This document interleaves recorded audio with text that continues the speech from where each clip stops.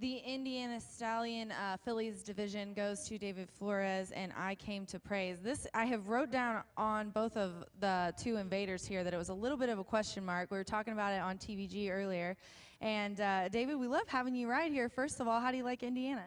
I love it. What a beautiful spot. You know, it's a great facility. Uh, for me to come here and uh, have opportunity to ride is, is a blessing. This one's been uh, running in California, and you're uh, very, you know the place. You know, obviously, uh, the, the horses that run there. This one's an Indiana bred, coming here, running on this track for the first time. Were you impressed with how it ran? Yeah, I didn't know what to what to get um, at first impression, but she broke really nice, and I just take her from there. and Which she wanted, she didn't want to be part of the the speed duel, which I kind of just let her drop, and that made she make a great run. Well, we're glad you're here, and congratulations on the win. Thank you very much. This is Rachel from Indiana Grand. Good luck.